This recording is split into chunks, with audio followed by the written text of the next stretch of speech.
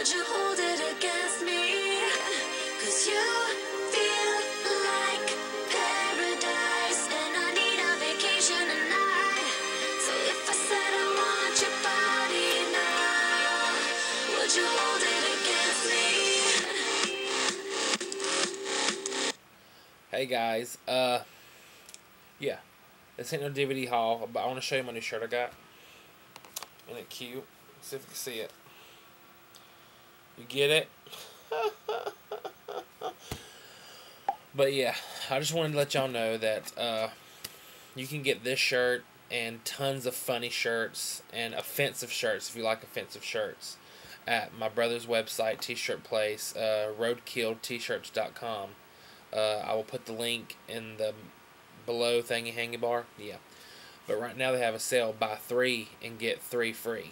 And shirts are like I think it's twelve bucks or fourteen bucks for a shirt, but there's thousands of stuff you can get. This is just one of them. I also got one that says Goonies Never Say Die.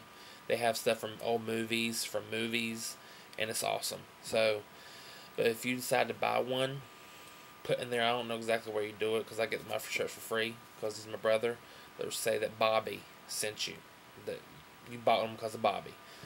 Uh, and yeah, whatever he sells or he buys from his name, he's giving me the money so I can buy a new camcorder so I can go around and show you where I live and have like adventure videos. And my best friend Sarah, she's a girl version of me, literally.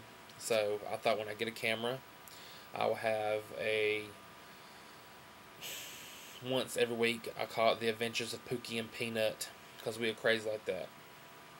She's Pookie, I'm Peanut. So, yeah, we are crazy. But just let you know, uh, you can do that. I'll put the link below. It's called roadkilltshirts.com. And just go look around. And if you decide to buy one, put a comment on this video and let me know. Because I really would be appreciated if you would.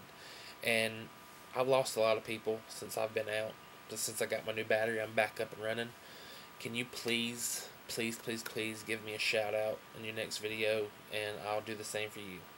Just let me know you gave me a shout out, because sometimes YouTube lately is stupid, and I can't, yeah.